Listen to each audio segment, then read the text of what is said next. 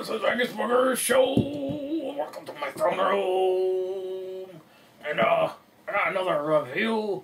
This is a device review, and I don't know what that sound was, but uh, this is my iPod. I just got this. It was uh used. There's a lot of scratches on the back.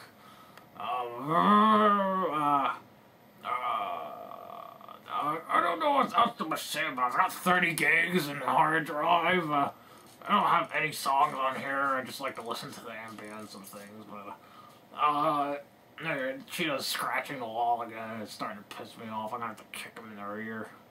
Set him straight there. That's how I do. And uh, yeah, that, that's that's that's pretty much my iPod right there. And I'll just right there, and there it is.